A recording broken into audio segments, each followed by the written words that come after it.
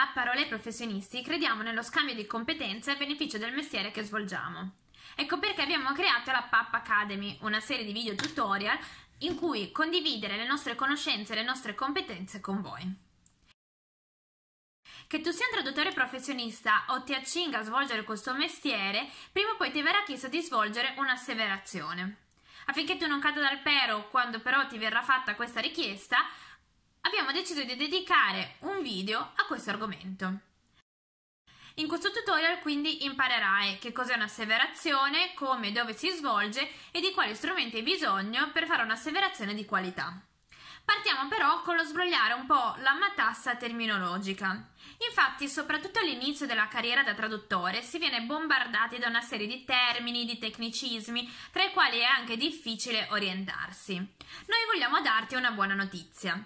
La traduzione asseverata, la traduzione giurata e, la tra- e l'asseverazione sono di fatto la stessa cosa. O meglio, la traduzione asseverata o giurata che dir si voglia sono il documento che si ottiene dopo che il traduttore ha svolto l'asseverazione, cioè ha recitato un giuramento in tribunale davanti a un pubblico ufficiale. Prima di entrare nel dettaglio di questa pratica, però, vogliamo fare alcune precisazioni per noi fondamentali. Innanzitutto devi sapere che una traduzione asseverata ti costerà di più rispetto a una traduzione standard, sia in termini temporali che economici. In termini temporali perché ci impiegherai più tempo, dovrai fare delle ricerche terminologiche specifiche e accurate, dovrai recarti di persone in tribunale e in termini economici, beh, perché il tempo è denaro, come si dice, no? Inoltre devi sapere, devi tenere anzi ben a mente il fatto che un traduttore che assevera si assume una responsabilità sancita dal codice penale, precisamente dall'articolo 483 del codice penale, dove è prevista una sanzione dai due mesi ai tre anni di reclusione per chi assevera, quindi giura, una traduzione falsa o errata. Per questo è fondamentale sapere e rendersi conto che un'asseverazione è una cosa seria e soprattutto che non va fatta nei ritagli di tempo in velocità o all'inizio di carriera per farsi strada. Inoltre è vivamente sconsigliato tradurre verso una lingua che non sia la propria lingua madre. Se nei casi ordinari magari lo fai e ti fai aiutare da un revisore, in questo caso te lo sconsigliamo proprio per quello che abbiamo appena detto relativo al codice penale. Ora entriamo nel dettaglio. Come si assevera? Beh, una volta che avrai fatto le tue ricerche terminologiche, avrai tradotto accuratamente il testo, dovrai stampare la traduzione e il testo di partenza, oppure prendere il testo di partenza in originale se ti è possibile, e recarti con questi documenti assieme alla tua carta d'identità in tribunale, dove appunto presterai un giuramento leggendo una formula da, eh, che ti verrà data dal pubblico ufficiale che eh, poi eh, autentificherà la tua firma che apporrai sul verbale eh, appunto guardando la tua carta d'identità. La formula che giurerai eh, dirà che hai tradotto bene e fedelmente il testo e che sei conscio della responsabilità che ti assumi secondo appunto l'articolo 483 del codice penale. Inoltre eh, dovrai portare con te anche delle marche da bollo eh, che verranno infatti apposte al fascicolo eh, che eh, verrà prodotto contestualmente in tribunale con il testo originale, la eh, traduzione, il testo originale si intende il testo di partenza, poi la traduzione e il verbale da te firmato e firmato anche dal pubblico ufficiale. Per quanto riguarda le marche da bollo, però, non c'è una regola precisa in Italia per conteggiarle. Ogni tribunale utilizza, diciamo, un metodo diverso. Per farti capire, c'è chi eh, conta sia le parole del testo di partenza e, e, di quello tradotto, chi solo della traduzione, chi conta una marca da bollo ogni 100 parole e chi una ogni 4, 2 o 4 pagine per dire.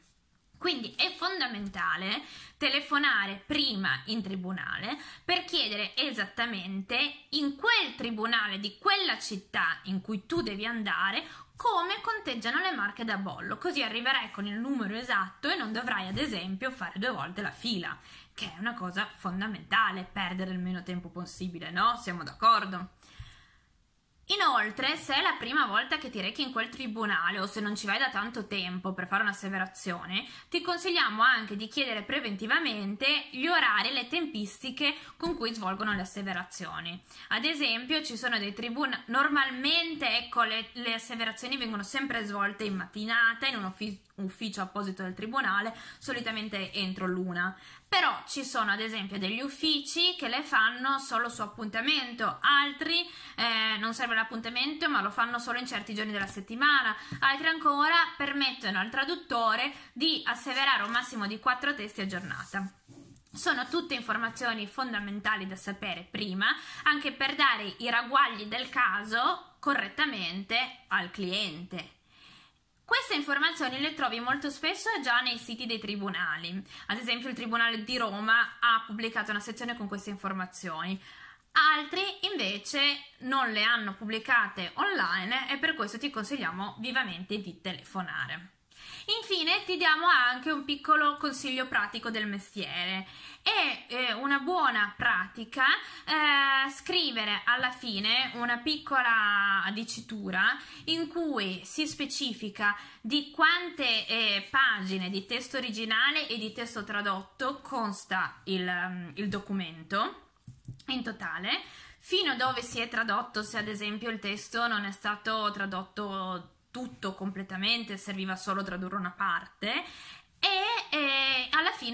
mettere la propria firma. Ad esempio, scrivere il documento è composto da 5 pagine ori- mh, di testo di partenza in francese, eh, 4 pagine in traduzione italiano, è stato tradotto fino qui, firma e timbro, se ce l'hai, del traduttore. Infine, eh, anche eh, sarebbe l'ideale poter siglare con le proprie quindi iniziali e magari anche col proprio timbro ogni eh, piega del fascicolo, diciamo la parte eh, che si forma tra le due pagine graffettate, tra ogni piega a porre la propria sigla. Tutte queste sono piccole eh, precauzioni anche per evitare magari eh, dei, dei, dei, cambiamenti anche dovuti a manomissioni eh, successive all'asseverazione e quindi per tutelarsi. Io direi che con questo possiamo concludere, eh, avrete, avete acquisito delle importanti, conoscenze sull'asseverazione e eh, vi chiedo quindi di mettere un like a questo video se vi è piaciuto, vi ringrazio per essere arrivati fino qui e vi consiglio di seguire i nostri social e di iscrivervi alla nostra newsletter e se avete altri argomenti che vi possono interessare, chiedeteceli, magari ci scrivete nei commenti o in privato. E a proposito, qui sotto vi lasciamo anche il link del testo di PAP con tutte le informazioni in più eh, sull'asseverazione.